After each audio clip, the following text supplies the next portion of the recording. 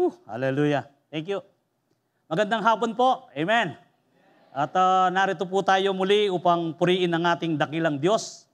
At uh, sa ganoon ay maibigay natin ang ating oras at panahon. Sa ganitong pagkakataon, ito ang pinakamahirap na oras. Oras na kung saan ay napakasarap matulog. Pagkatapos mong kumain, napakasarap na umiga. Subalit sa hapong ito, naniniwala ako at nananampalataya ako na hindi niyo po ako tutulugan. At wala pong matutulog sa ating kalagitnahan. Amen.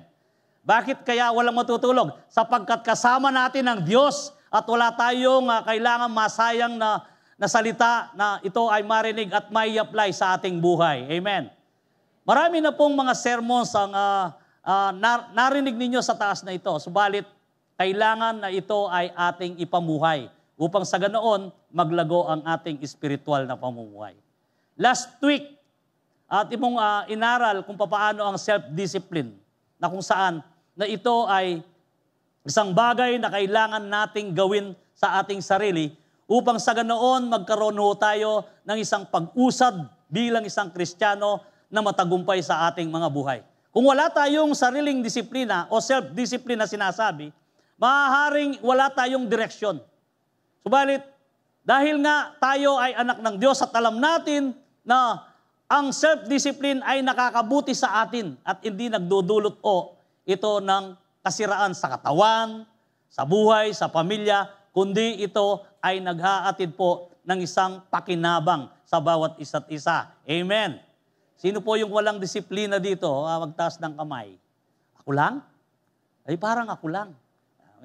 Salamat sa Diyos at ang pamilya ng iglesia ay mayroong disiplina. At ngayon po, tatalakayin po natin ang uh, kadugtong nito na last na lang sa mga uh, yung uh, essential character traits na kung saan na ating pinag-aaralan at napaka-importante.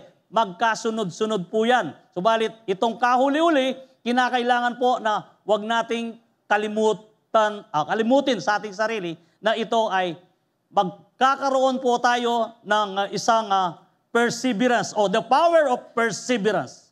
Yung pagbabata pagbabata o pagtitiis. At dito po makikita natin kung paano ang kaulugan muna ng perseverance.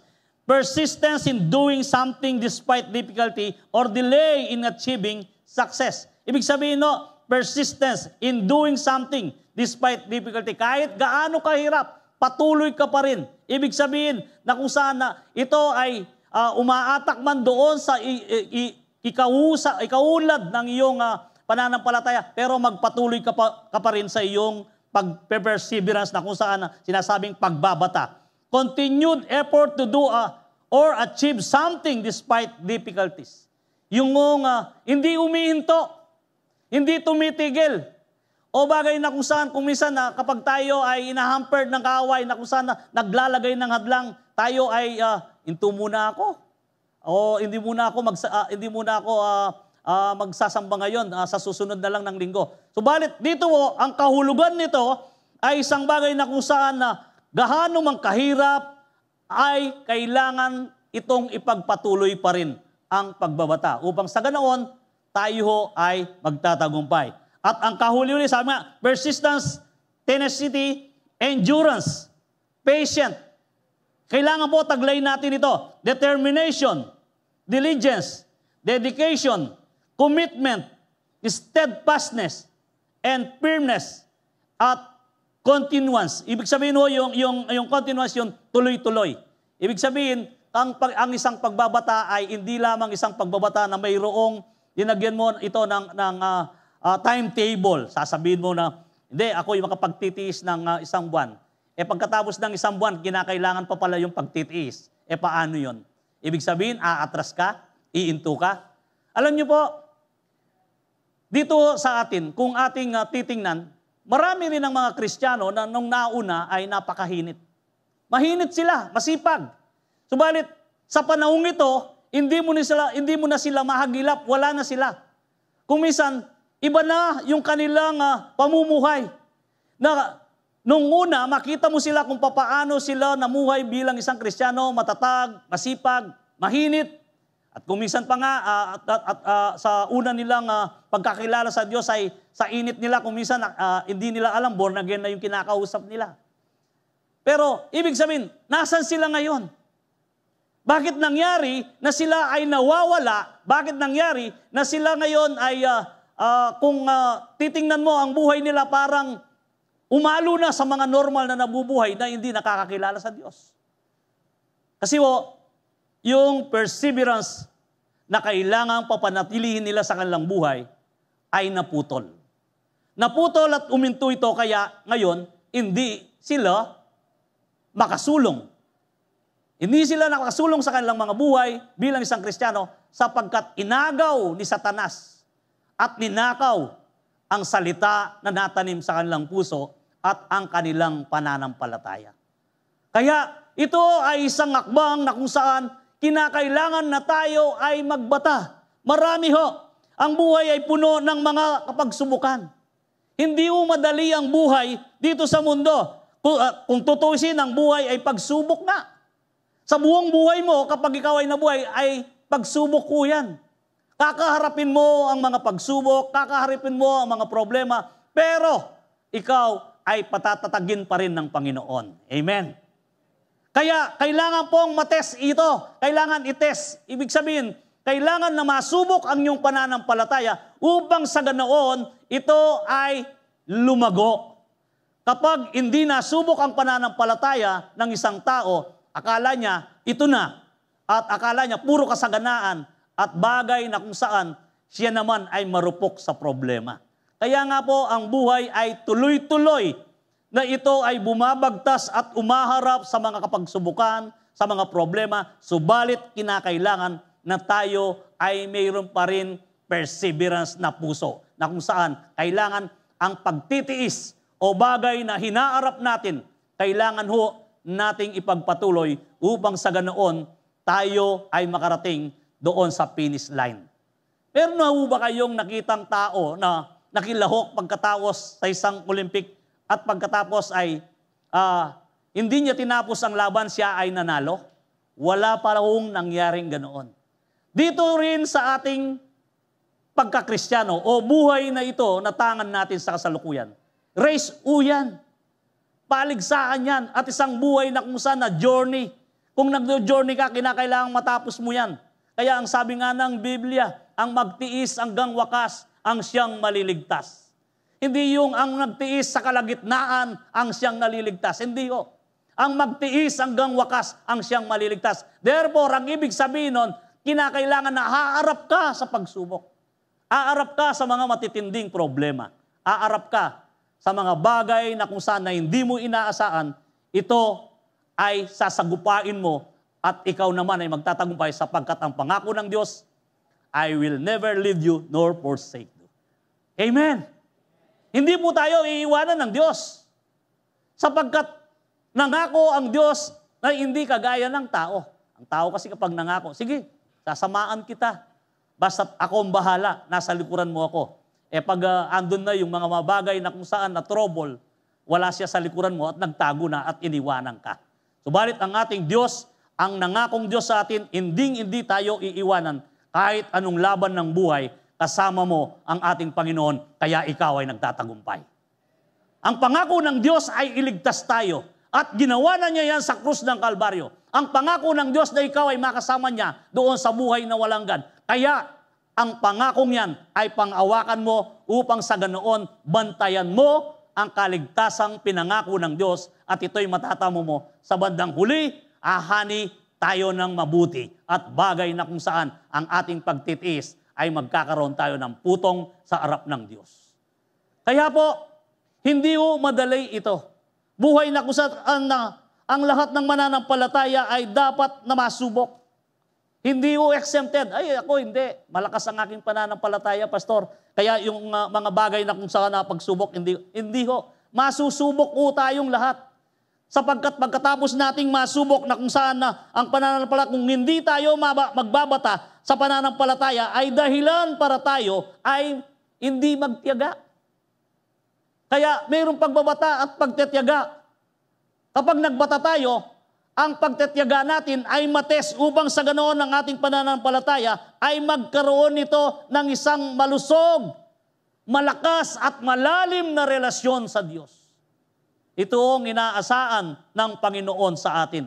Kaya nga, ano pa lang ho yan? Introduction pa lang yan. Hindi pa man tayo nag-uumpisa. Pero bakit ko sinasabi ito? Upang makondisyon ko kayo at ang kaisipan natin ay mapokus doon sa pagbabata sa apong ito. Kaya kayo'y magtitiis abang ako'y nagsasalita. Amen. Tiisin ninyo ang antok ninyo. Amen. Sige po, sa Hebrew 12.1, dito po, simula po tayo. Therefore, sabi nga, since we are surrounded by such a huge crowds of witnesses to the life of faith, let us strip of every weight that slows us down, especially the sin that so easily trips us up. And let us run with endurance the race God has set before us.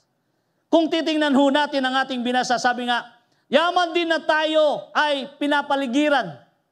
O la, yaman din na tayo ay uh, na, uh, tayo ay uh, mayroon ng basian sa mga ano yun, sa mga huge crowds of witness to the life of faith na ang mga naunang bayani ng pananampalataya na sila ay yaong nauna sa atin na nagtiis at hindi sila umatras at sila hanggang sa sila'y namatay ang pagtitiis nila bilang isang tagasunod ni Kristo, sila'y nanatili sa ating Panginoon. Amen. Kailangan po na ito ay magawa rin natin. Meron na tayong basian.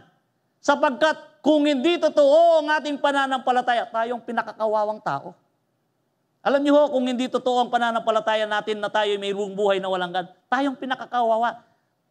Ang oras, ay ating uh, i, ay ating i, binibigyan na nilalagak natin ang oras natin dito. Sayang kung wala tayong tunay na buhay na walang hanggan. Subalit tayo ay mayroong tunay na buhay na walang hanggan. Bakit po natin alam ito? Tayo ay kumpiyansa sa ating mga sarili sapagkat tayo ay binautismuhan ng Diyos sa kanyang banal na Espiritu. Kaya mayroon tayong tatak na banal na Espiritu ng Diyos. Ang banal na Espiritu ay sumasa atin hindi u naka, hindi u umiiwalay ang banal na espiritu. Ang banal na espiritu ay sumasa atin. Kaya nga lang hindi natin nararamdaman ang banal na espiritu doon sa panahon na uh, hindi tayo nagtitiis para sa ating ikabubuti. Kaya siya ho ay napipighati. Subalit, kung ikaw ay isang tao na may pananampalataya at paniniwala, habang may pagtitiis ka at kumakapit ka sa salita ng Diyos, ang banal na Espiritu ang siyang lumulukob sa iyo, kakayanin mo at magtatagumpay ka, kapatid. At dito pa rin ho sa Hebrew 11, sabi nga, tapusin lang ho natin, 11, 13, and 16. All these people died still believing what God had promised them. They did not receive what was promised, but they saw it all from distance and welcome it. They agreed, sabi nga, they, they agreed that they were foreigners and, and nomads here on earth. Obviously, people who say such things are looking forward to a country they can call their own. If they had longed for the country they came from, they could have gone back. But they were looking for a better place, a heavenly homeland. That is why God is not ashamed to be called their God, for He is prepared a city for them. Sige po, tayo muna sandaling manalangin. Ama, salamat po sa hapong ito. Ayahan mo po sa aming kalagitnaan ang iyong banal na Espiritu ang siyang mga siwa sa bawat isa sa amin. Sa aming mga buhay, sa aming pakinig, magbigay ka po ng hunawa at pagbabata. Sa ganoon, Panginoon, walang masayang na salita na aming maririnig at ito ay pakinabang sa aming espiritual na pamumuhay. Ayahan mo rin, O Diyos, abang naririnig namin ng salita, mag-atid ka ng kagalingan, mag-atid ka ng kapayapaan sa bawat kapatiran. Maging ang nasa online, Panginoon, bigyan mo po sila ng pagbabata na kung saan, Panginoon, natatapusin nila ang pananambaang ito upang sa ganoon ay makamit nila, Panginoon, ang isang bagay, O Diyos, na hindi maiambing sa yaman. Salamat po, Panginoong Yesus, maging ang iyong abang lingkod. Panginoon, itago niyo po ako sa iyong pagkadyos. Hindi ang aking emosyon o ang aking sarili, kundi ang iyong salita, ang aking sasalitain at magkaroon ito ng kapangyarihan sa pangunguna ng iyong banal na Espiritu. Magpala ka po sa aming kalagitnan. At aming sinasaway, Panginoon, ang anumang huri ng tangka ng kaaway na si Satanas sa mga bagay na kung saan ito ay magbigay ng istorbo sa bawat isa sa amin at hindi maging komportable sa apong ito sa makapangyariang pangalan mo, Yesus. Salamat po. Sa iyo po ang kapurian at kapasalamatan sa tanging pangalan mo, Kristo Jesus. Amen and amen. Sige po, palakpakan natin ang ating Panginoon. Dito po sa ating binasa sa Hebrew 11, 13 and 16, all these people died still believing what God had promised them. Ibig sabihin, yung mga heroes of faith na kung saan na ito'y mababasa natin sa Hebrews 11 na silang lahat ay nangamatay na hindi man nila nakita ang mga bagay na kanilang pinaniwalaan, subalit hindi pa rin sila nawalan ng pag-asa at sila'y nagbata habang iniintay nila ito hanggang sa datnan sila ng kamatayan, hindi sila sumuko at ang kanilang pananampalataya ay nanatili hanggang sa uling panahon nila. Kaya nga po, napaka-importante, sabi nga, did not receive what was promised, but they saw it all from a distance and welcome it. They agreed that they were foreigners and nomads here on earth. Alam niyo po, yung mga bagay na kung saan na dito sa lupa ay hindi nila masyadong pinapangalagaan. Kundi ang kanilang tuon sa kanilang sarili ay yung pagtuon sa isang lugar na kung saan na kanilang kinaroroonan. Oo, si Moses, natanaw niya ang lupang pangako, subalit hindi siya nakarating. Ang ginawa ba ni Moses ay umatras at hindi na nanatiling nanampalataya sa Diyos. Nagpatuloy pa rin siya, bagamat siya ay taong matapat, subalit hindi man siya nakatapak sa lupang pangako hanggang siya namatay. Pero hindi naghalinlangan at hindi ko nawala ang kanyang pagbabata. Yung perseverance niya. Patuloy pa rin yun hanggang sa siya'y namatay na hindi makamtan at pag-apak sa lupa, nakapangako, pero hindi hindi siya uminto.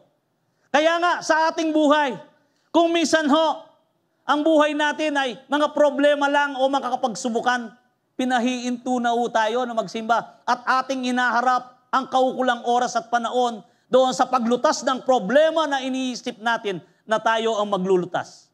Kapatid, wag ho nating ayahan na masayang ang oras, masayang ang panahon, at ang nakatuon ng ating makamata ay ituon natin na sentro sa ating Panginoong Yesus at siya ang lahat ng lulutas ng iyong problema.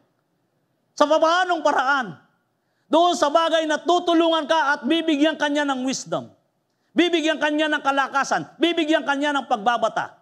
At doon, maaaring sa lalong madaling panahon, ito'y marisolba anuman at gaano kabigat ang problema na iyong inaharap. Kaya, ang mga ito na nabanggit, anong sabi? Obviously, people who say such things are looking forward the country that they can call their own. Pero dito sabi nga, if they had longed to the country that they came from, they could have gone back. Pwede silang bumalik. Eh si Amang Abraham nga, nung siya ay, bago siya uh, mamatay, ay sinabi, sumumpa ka, sabi niya sa kanyang katiwala na, ilagay mo ang iyong kamay dito sa akin. Sumumpa ka na si Isaac ay wag mong dalhin doon sa Ur kung saan ako nanggaling. Alam niyo ho, kung dadalhin kasi si, si Isaac sa Ur at makita niya na sila'y nasa wilderness, Subalit ang kanilang bansa na iniwanan na Iraq sa panahong ito na kung saan na napakayaman, maaaring kapag uh, tumungo doon ang kanyang anak ay hindi naalis. Sasabihin niyang, bakit iniwan ng aking papa o ang aking tatay o ang aking ama ang lugar na napakaganda at napakayaman? Bakit pinilit niya na siya'y manatili doon sa ilang na walang, uh, walang kapag-apagasa, kundi natatanaw mo lang ang pinangako sa kanya? Ganun no. Pero hindi mo ganun. Hindi siya umatras. Eh kung minsan tayo nga, sa kawalan natin ng pagbabata, parang ang pag-asa natin ay nawawala na. Kasi nga, kinakailangan mayroon tayong tiisin bilang isang Kristiyano.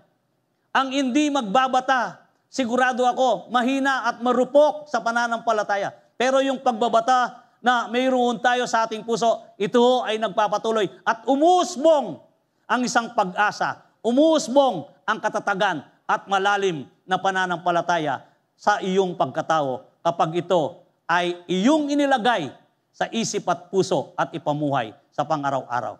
Kaya nga po, the power of perseverance, perseverance is the result of faith in trials. Ito, dito, sabi niya, kinakailangan na magkaroon ka ng pagbabata upang sa ganon ay magkaroon ng resulta at ang iyong pananampalataya, ito ay magiging buo at matatag. James 1, 2, 3, sabi, Consider it pure joy, my brothers and sisters, whenever you face trial of many kinds, because you know that the testing of your faith produces perseverance. Mayroon ho bang pagbabata na kung saan na ito ay maligaya o masaya? Wala. Parang uh, kung nagbabata ka at masaya ka, akala mo ay parang isa kang baliw na kung saan at gumingiti at nagbabata ka o kaya ay gumingisi. Pero hindi ho ganon. Walang maligayang tao na siya ay nagbabata. Pero sa kabila nun, kinakailangan na ikaw ay magkaroon ng puso na napakalagaya sa Panginoon habang iniintay mo ang pag-asang yan sapagkat ito ang nais ng Diyos. Kinakailangan na huwag kang mag-alinlangan. Kinakailangan na hindi mawala doon sa ating isip at puso yung uh, isang uh, uh, is- isang pag-asa sa Diyos. Kaya ngayon, hindi ka man maligaya pero mayroon kang kapanatagan.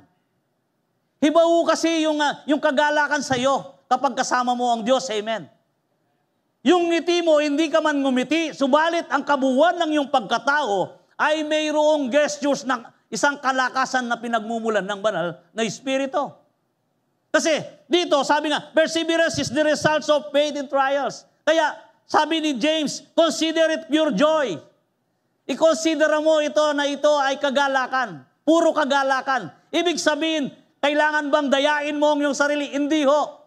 Alam mo na mayroon kang pagbabata. Subalit, ang iyong sarili ay igit na nakatuon doon sa pag-asa na pinangako ng Diyos at alam mo na hindi ka iiwanan ng Diyos. Kaya nga, umihiral yon At yon ang nangingibabaw. Nangyayari sa araw-araw na buhay habang iniintay mo ang pag-asa, mayroon kang pagbabata na kung saan na mayroong kagalakan sa puso at hindi mo na malayan na kamit mo ang pangako ng Diyos. Kaya ngayon, ikaw ay isang blessed na kristyano at matatag na mananampalataya. Lahat na dinanas mo ay parang wala lang na hangin na dumampi sa iyo. Ito ang nais ng Diyos. Kailangan na makaugalihan natin ito. Kaya essential traits nga, yung, yung character traits natin. Bilang isang kristyano, kailangan taglayin natin ito. Importante ho. Kung hindi importante ito, hindi natin sasabihin essential. Kaya sinabing essential, kailangan mapasa atin ito. Kailangan maging kaugalian natin ito. Sapagkat ito ang magdadala sa atin ng tagumpay. Romans 5.3, sabi nga, We can rejoice too when we run into problems and trials. Bakit pagkasunod-sunod na sinasabi ni Pablo ito? Sabi nga, For we know that they help us develop endurance. Tumitibay ka. Dito tumitibay ka. When can, uh, sabi nga, when can rejoice to when we run into problems and trials. Kailan? Sa, kapag ito ay dumarating at sinasalubong mo ang problema, maaari mong sabihin, sige, welcome ka problema. Welcome ka, sige. Pero hindi, hindi pa rin ako matitinag kahit gaano kakalaki sapagkat igit na malaki ang aking Diyos na nangako sa akin. Sige po, palakpakan natin ang ating Panginoon. Bawat problema ay may kalutasan. Kaya lang, bakit hindi ito napapagtagumpayan? Kulang ng pagtitiis. Kulang ng perseverance na kung saan na kinakailangan ito ay maging ugali natin. Kaya kumisan nga, sa isang bagay na lang na pinaplano mong gawin, wala kang tiisin abang uh, ginagawa mo at hindi mo uh, makita ang isang itsura ng gusto mong gawin. O alimbawa, karpintero ka man yan at nakikita mo na yung iniisip mo na ah, magawa mo na hindi mo magawa. Kumisan, may, may makikita ako na mga karpinterong uh, mabubwisit siya, iagis pa niya yung mga amer eh. Yung, yung martilyo. Hmm! Sabi nga, no, yung para magsasawan, ayaw ko na yan. O isa, sisirain pa eh. Wala siyang pagbabata. Wala siyang perseverance. Anong nangyari? Wala siyang natapos. Alam niyo po ba na napaka-importante sa tao? Yung may matapos, hindi yung umpisa. Madaling mag-umpisa. Di po ba? Yung mag-umpisa madali, kahit anong gusto mong umpisaan, kaya mo. Pero, yung dulo noon, kapatid, anong resulta? Yung pagtatapos ng inumpisaan mo, paano? At ano ito? Napakadaling mag-umpisa. Pero ang igit na mahirap ay yung pagtatapos. Ano bang natapos mo? At anong bunga ng tinapos mo? O anong bagay na dulot ng natapos mo? Kaya nga po, sa bawat isa sa atin, magkaroon tayo ng isang puso na kung saan na mayroong perseverance. Parang walang gustong magkaroon ng perseverance dito dahil narinig nila yung pagbabata. Sino ang gustong magkaroon ng pagbabata? Yan. Dapat nga lang. Sapagkat naririnig tayo ng kahaway na kung saan na hindi tayo lupaypay. Sapagkat tayo ay palaban. Amen. Sapagkat ang kalaban natin ay mga espiritual o espirito na kung saan na ito ay nabubuhay sa angin at hindi ho yung tao na kung saan na dugo o laman na ating nakikita. Kung sila man ang magiging sanhi ng ating problema, hindi ho sila ang ating kaaway o kalaban. Ang kalaban natin ay espirito. Ngayon, Yaman din na tayo binigyan ng malakas na espiritu, ang banal na espiritu. At sinabi rin ng Panginoon, igit na malakas ang kapangyarihang ipinagkalob ko sa inyo kaysa espiritu ng mundong ito. Yung 1 John 4.4, dataglay ninyo sa bawat isa sa atin. Kaya nga, pwede ba tayong umatras? Meron ba tayong uh, dahilan upang tayo ay manlupaypay o umatras at hindi na mag-persevere? Meron ba tayong dahilan na kung na tayo'y iinto sa bagay na ating ginagawa bilang isang mananampalataya. Wala ho, walang puwang ang paghinto. Kinakailangan na tayo'y magpatuloy. Sapagkat kung hindi tayo magpapatuloy, wala tayong, mag, wala tayong mapapala na isang malakas at matatag na pananampalataya o pag-uugali kung paano tayo umarap sa mga problema. Hindi ho natin kakayanin. Perseverance is a builder of strong character. Ito, strong character na kung saan ang ating kaugalian ay kanyang uh, minumold at ito ay kanyang pinapanday upang sa ganoon masanay tayo sa isang bagay na kung saan na mayroong pananampalataya. James 1.4 Let perseverance finish its work so that you may be matured and complete, not lacking anything. Ano ho ang ibig sabihin dito? Let perseverance finish its work. Kaya nasabi ko kanina nga, yung umpisa madali. Pero anong sabi? Let perseverance finish it work so that you may be matured and complete, not lacking everything. Yung maging matured ka, yung maging matured ang ating panampalataya na ito ay maging kompleto and not lacking everything. Dito ay mayroong nakaugnay kung minsan ay marami pa po ba yung nagtatampo rito na sa mga kaibigan, sa mga kapatiran, o kaya naman ay kung minsan ay nagkasakit ka at hindi ka man nadalaw, sasabihin, hey, ganun naman pala sa Calvary, nagkasakit ako, hindi man ako dinalaw. Wala man dumalaw. Yung mga nasa siyo ko, hindi man ako tiningnan. Alam niyo, sa sinasabi dito ni, ni, ni, ni Santiago, na kung saan na, let perseverance finish its work so that you may be matured and complete. Ibig sabihin, kahit nag-iisa ka, kahit nag-iisa ka na lang, na mayroong matured na pananampalataya at may perseverance, hindi mo na inahanap yung mga bagay na kung saan na iniisip mo na ito ay nakapagbibigay ng kalakasan sa iyo. Hindi ko sinasabing hindi importante ang mga tumutulong o yung mga dumadalaw. Subalit kahit nag-iisa ka lang, sapagkat mayroon na tayong isang modelo na ang nag-iisang pangalang Jesus at nag-iisang gumanap at, gu- at ibinigay ang kanyang salit, tinapos ang lahat para sa iyo at para sa akin upang magkaroon lang tayo ng kaligtasan. Nag-iisa lang siya. Pero bakit napagtagumpayan niya yon? Nag-persevere siya, nagbatas siya. Upang sa gano'n sa kanyang pagbabata, tiniis niya ang lahat ng hirap, sakit, latay sa katawan na hindi mukhang tao sa bugbog. Tiniis niya Ni minsan hindi nagreklamo. Ni minsan hindi nanumbat. Bakit tiniis niya yun? Alang-alang sa kaligtasan mo, kapatid. Alang-alang sa kaligtasan ko. At alang-alang sa tibay mo na kung saan na ito ay pwede mong pangawakan na kagaya ng tibay ng ating Panginoong Yesus nung siya nagkatawang tao. Kaya nga, kung minsan nakakalungkot sa isang bagay o isang iglap, nawawala ang ating perseverance, katatagan na kung saan o pagbabata. Dahil lamang sa isang bagay na inakala mo na ikaw ay mabibigo. Sa ating Diyos, mayroong pag-asa at walang kabiguhan. Amen kailanman hindi hindi tayo magkakaroon ng kabiguan sa Kanya sapagkat ang ating Diyos ay nagbigay ng isang kapangyarihan na tayong lahat ay victorious. Amen. Victorious ba tayo? Amen.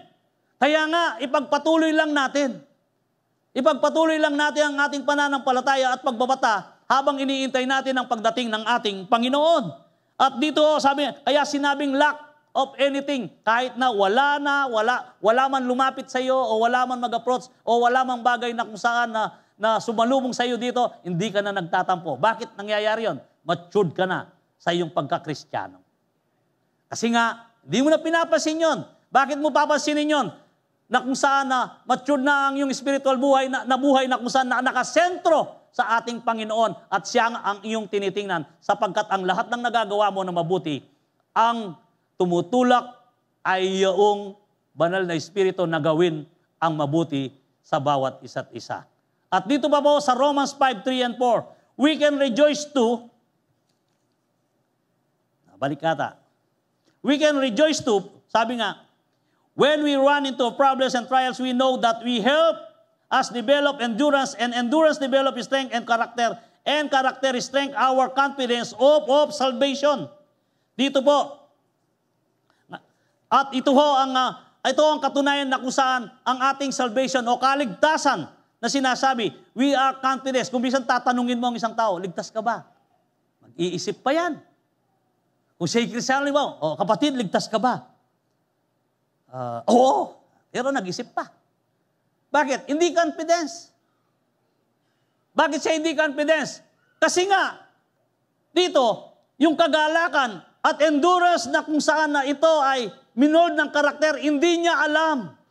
Yung mga bagay na kung saan na dapat na ito ay namold na sa kanya at ready na siya at kumpiyansa siya, anumang oras at anumang mangyari, siya ay ligtas. Alam niya. Kaya yung pagsagot niya, ligtas ka ba? Yes, of course. Sasabihin niya kagad. Pero yung isang tao sasabihin, eh, ikaw kapatid, ligtas ka ba? Oo, oo, oo, sasabihin. Iisipin niya.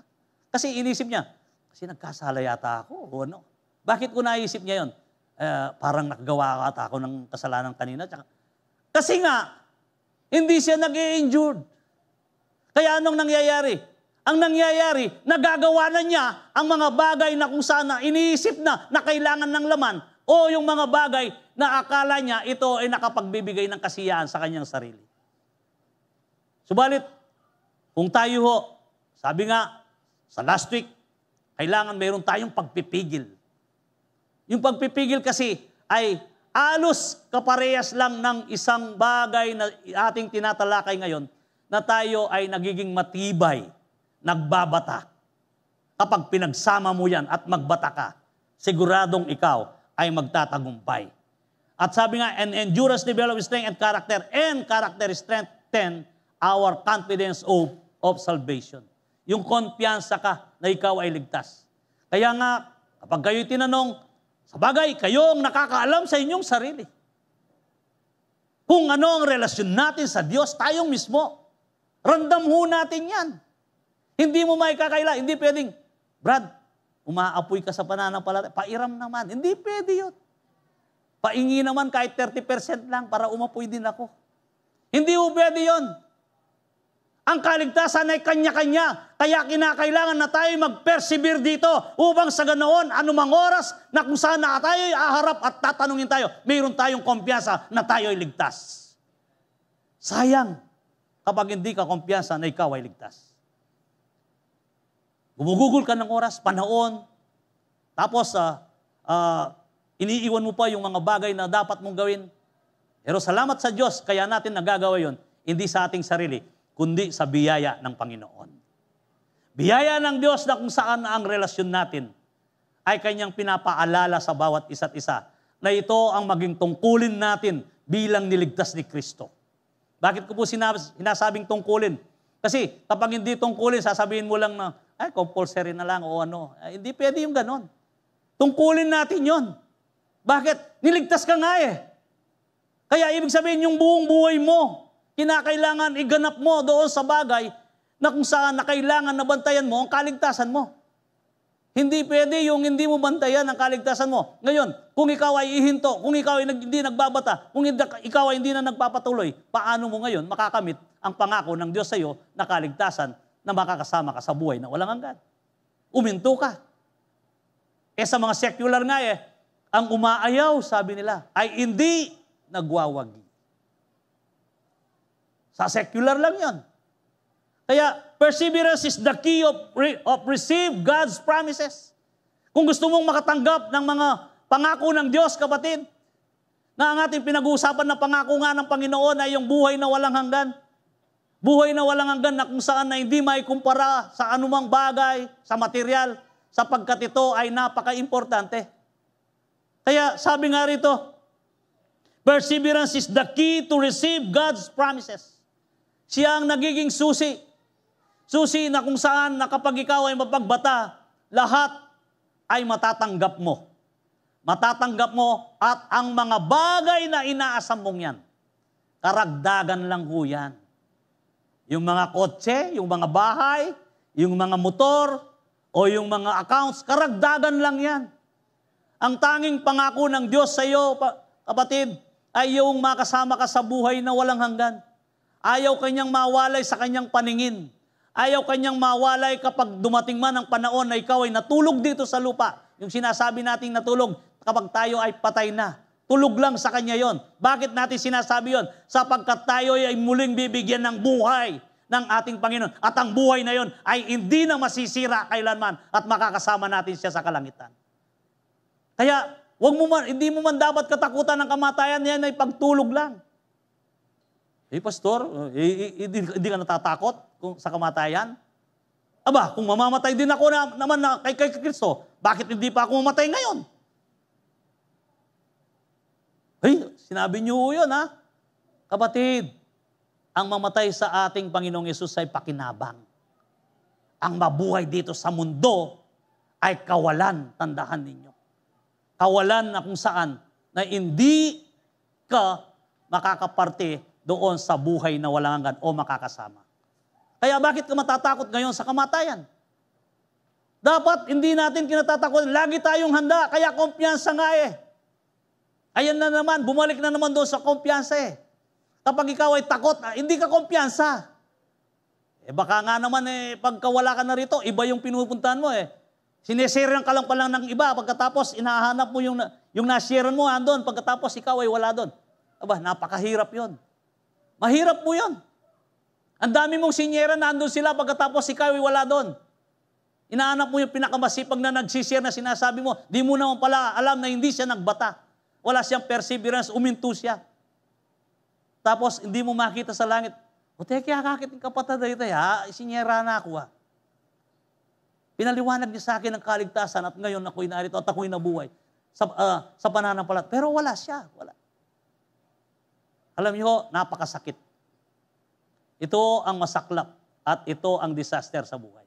Kaya nga, kailangan no, na itodo ang buhay na to kay Kristo. Upang sa ganoon, matanggap natin ang pangako ng Diyos. Hebrew 10.36 sabi nga, you need to perseverance.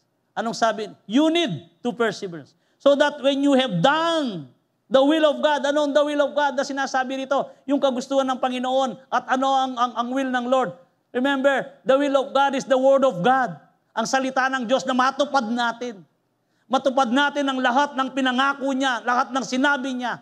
Iyon ang will ni Lord. Hindi yung will na kung saan nasasabihin mo na isang bagay na akala mo, dito lang sa pananagumpay sa mundong ito, yun ang will ni Lord. Ano lang ho yun? Sabi ko nga, karagdagan lang yon sa will ni Lord. Sapagkat pinangako na niya yan na kung ikaw ay mananatili sa Kanya, John 57, ano sabi? Mananatili ka sa Kanya. Ano, ano man ang ingin mo, ay pagkakalob ng Diyos. Kaya ano, dagdag lang yan. Hindi ho dyan tayo dapat mag-focus. Kinakailangan ng ating kaisipan, isentro natin sa salita na kung saan na kapag tayo ay biniyayaan ng pagpapala, ang pagpapalang makalangit, ang pagpapalang buhay na walang hanggan, ang lagi nating iniintindi. Yung hindi mga bagay na pagpapala na ini-enjoy natin dito, sapagkat yan ay temporary lamang.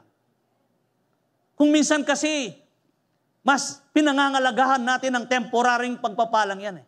Nakakalimutan natin na tayo ay hindi panlangit. Akala natin hindi tayo mamamatay.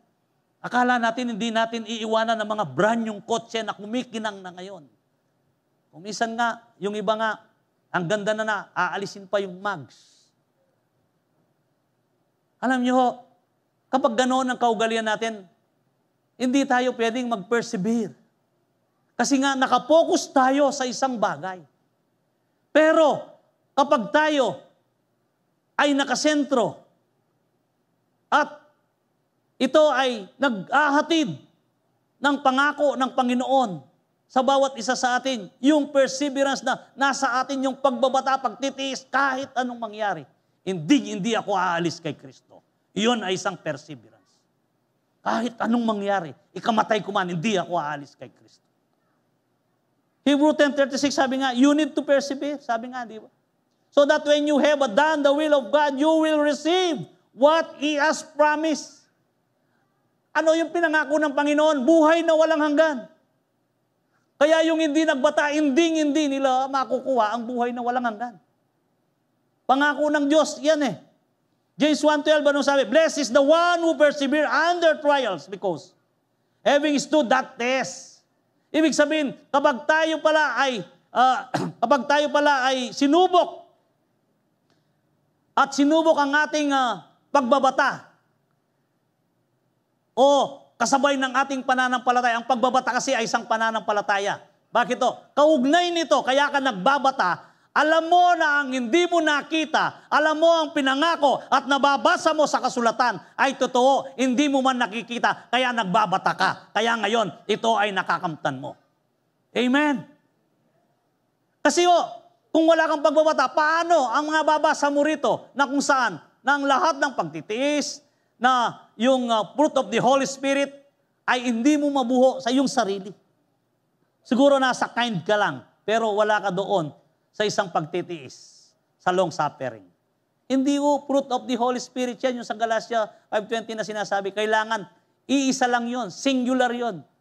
Kapag ikaw ay mapagbata, mayroon kang pasensya, mapagmahal ka, puno ka ng pag-ibig. Kasi nga, at kahit naghahano kaaba yun, yung long, sa ibang salin, long suffering kasi yan eh. Pero ano, ano, ano ho ang magiging kaugalian mo doon? Kasi yan ay bunga ng banal na espiritu na ito ay kabuuan na tumataglay sa iyong pagkatao. Kaya ano ang, ang mangyayari yan? Sa pagkilos mo, kasama na yung mabait ka, kasama na yung pasensyado ka. Ayan, lahat to. Kasi bagay na kung saan ito ay iisa lamang inaasaan ng Diyos sa atin yon sapagkat ang banal na Espiritu ang nagbigay ng bunga ng lahat ng yon.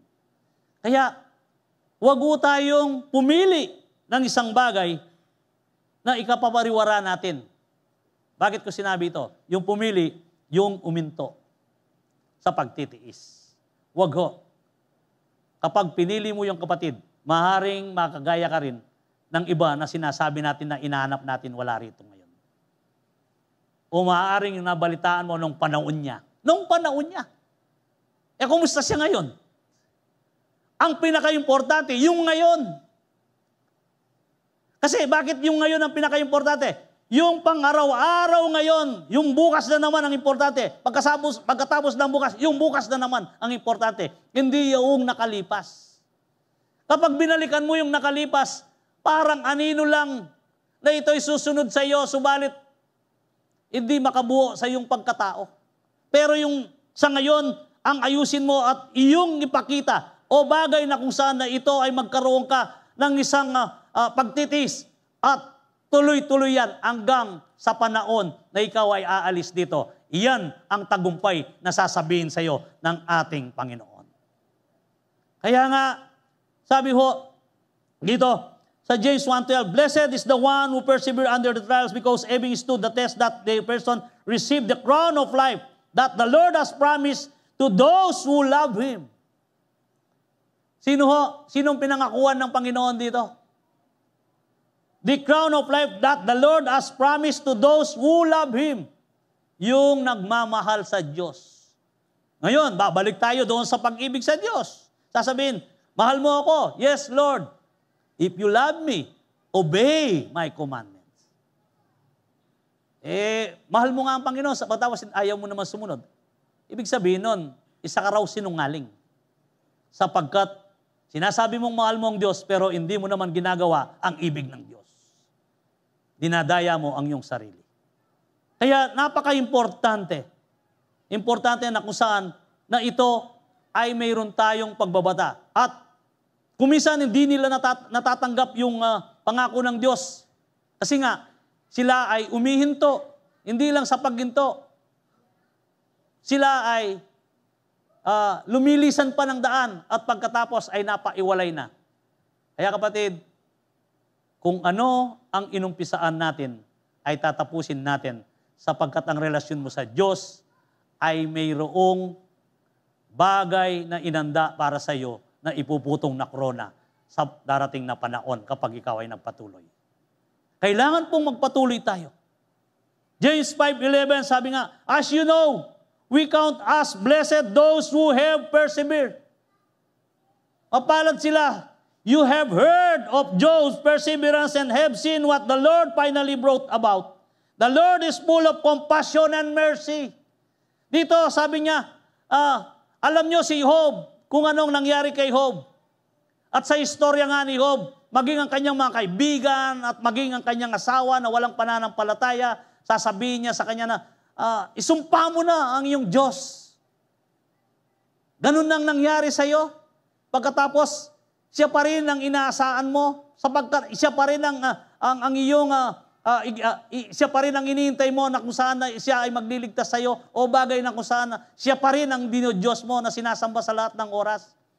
Inalis na nga ang iyong mga kayamanan, namatay ang iyong mga anak. Hindi pa man na hindi pa man natapos na namatay ang iyong mga anak, tapos ay inalis pa yung mga ari-arian mo. Isumpa mo na siya, sabi ng bungangera niyang asawa. Buti na lang sa Calvary Temple, walang bungangerang asawa. Kundi mapagmahal na asawa at encourager. Amen? Ayaw sumagot ng mga encourager ng asawa. Encourager ba kayo? Amen? Yes, encourager sila. Yung kapag umiina ang kanyang asawa sa, ag agyume yan, Joe. Kaya mo yan. Kaya mo yan, love. Kaya mo yan. Yan ang mga encourager. Yan ang mga anak ng taga Calvary Temple. Amen. Sila ho ay encourager, hindi nagpapahina sa kanilang mga mister. Hindi kagaya ng asawa ni Job na kung saan na pinapahina pa at maging ang mga kaibigan ni Job. Ito bang sinasabing masaklap kay Job? Sabi na, marami ka sigurong nagawang kasalanan kaya pinapahirapan ka ng ganyan. Actually, oh, alam, alam nyo, talagang ang, ang, ang uh, pagsubok ay ay isang bagay na kung saan na nakapagtatatag sa ating palalataya kung tayo ay may tiisin na kasama natin ng Diyos. Yung uh, totoong puso na sinasabi mong kasama mo ang Diyos, kapag ikaw ay may tiisin, siguradong ikaw ay magtatagumpay. Pero sasabihin mo lang na uh, kasama mo ang Diyos sa bibig, pagkatapos ay nagtitiis ka, ay iiyak ka niyan. Ibig sabihin na ikaw ay uh, isang tao na kung saan na kakitaan ng kainaan. Tuwang-tuwa ang demonyo kapag ganun. Kaya kailangan ho na ang, uh, ang uh, perseverance mo ay ipakita mo at ito ay i-confess mo na kasama mo ang Diyos na hindi kanya pababayaan at kasama mo ang banal na Espiritu. Lahat, sabihin mo ako'y anak ng Diyos. Pangako niya, hindi niya ako iiwanan. At dito, kung makikita ho ang istorya kay Ob, hindi ho siya nawalan ng pananampalataya at ang pagbabatay niya na siya ay nagkaroon ng sugat mula ulo hanggang bumbunan. Mga pigsa na kung saan na ito ay puno ng kanyang katawan.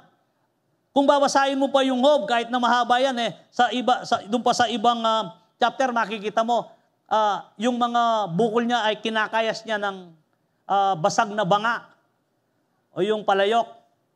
Sakati.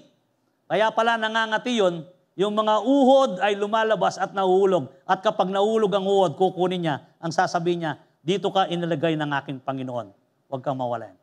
Kita niyo yung pag-persevere ni Job? Eh tayo kaya, kaya natin kayang gawin yung gano'n. Bakit inalimbawa rito si Job?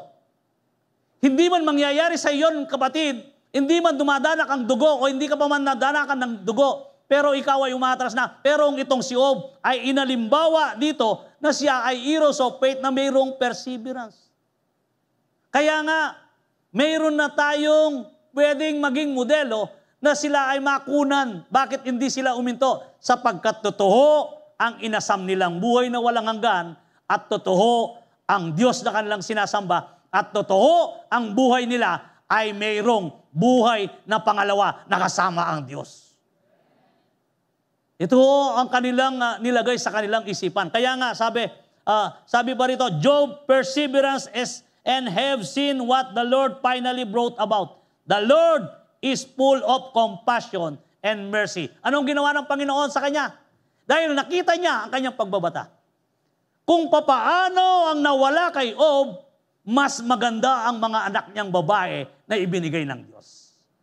Mas makisig ang kanyang mga lalaki na ibinigay ng Diyos. Mas marami at dinoble pa ang ari-arian ni Ob. Kasi ang Diyos ay full of compassion and mercy. Alam niya. Alam ng Diyos kung anong nilalaman ng iyong puso. Alam mo kapatid, kapag tinodo mo na ang buhay mo na binigay mo na uh, wala ka nang inaalala, sigurado ang Diyos, full of mercy and compassion, hindi ka pababayaan. Eh, last night nga, bago pala makalimutan, ang, ang anak ko na, na architect ay, ewan ko ba, at tumawag siya at dinala sa ospital sa Dubai. Ano siya, yung may uh, allergy. Nakasara yung mata, biglang tumaba. Hang, uh, yung uh, lumabas lang sa labas, nakasama yung pamangkin niya na one year old.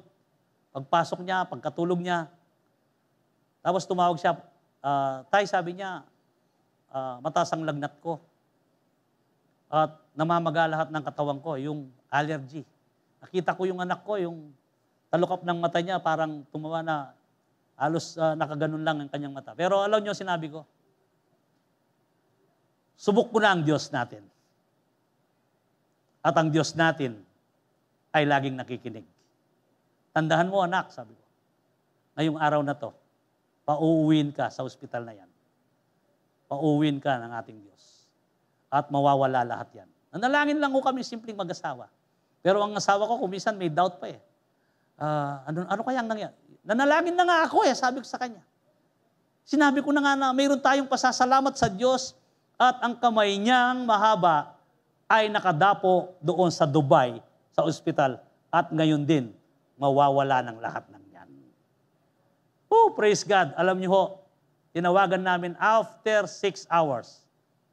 Lumabas. Parang walang nangyari sa aking anak. Bakit ko sinasabi ito?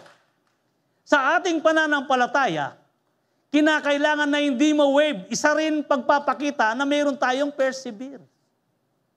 Pero kapag ikaw ay nanalangin at sinabi mo, may, Lord, wala ngayon, wala na siyang lagnat. Pagkatapos, sinasal, ay, mainit pa.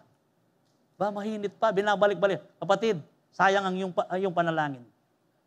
Sayang. Bakit masasayang?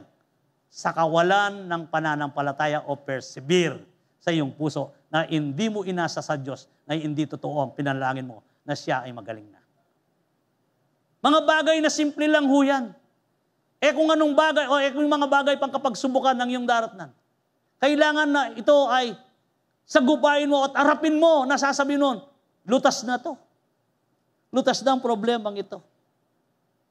Sa aking Diyos at alam ko Gahano man kaabayan, habang iniintay mo ang kalutasan, magpe-persevere ka upang matanggap mo ang pangako at iniintay mo para sa Diyos. Dito ganito si Job, nag-persevere siya. Kailangan na mayroon tayong puso na mapaghintay.